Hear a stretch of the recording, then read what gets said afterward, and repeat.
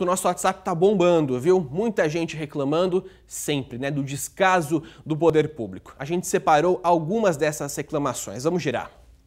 A gente começa mostrando a situação do asfalto da rua Jacinto Enhê, no bairro Concórdia, em Aracatuba. A Gabriela Souza, telespectadora do SBT Interior, fez esse vídeo e mandou pra gente. Ela tá indignada com o descaso. O asfalto tá esfarelando.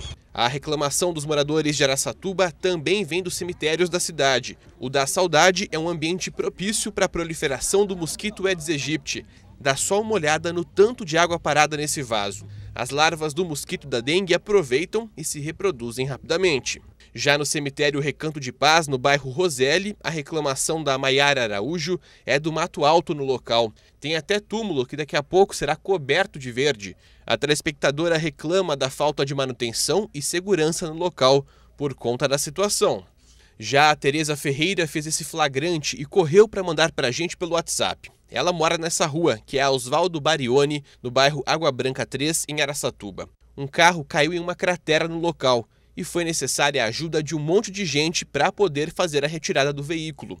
A nossa telespectadora já não aguenta mais isso tudo e perguntou à nossa produção: cadê a prefeitura?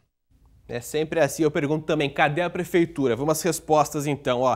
Sobre a rua Jacinto Anhê, no bairro Concórdia, a prefeitura disse que o processo de licitação para o recapeamento será estabelecido o mais breve possível. Sobre as situações dos dois cemitérios, o executivo informou que tem feito a limpeza nos locais em parceria entre a Secretaria de Obras e a de Serviços Públicos e também a Monte Azul Ambiental. Já sobre a situação da rua Oscar Barione, a prefeitura disse que a restauração da via já está na programação informação e que as equipes já estiveram na região para realizar aí o aterramento de algumas dessas ruas que nós mostramos. Manda para mim a participação 18 99145 3155. Quero mostrar a sua participação aqui.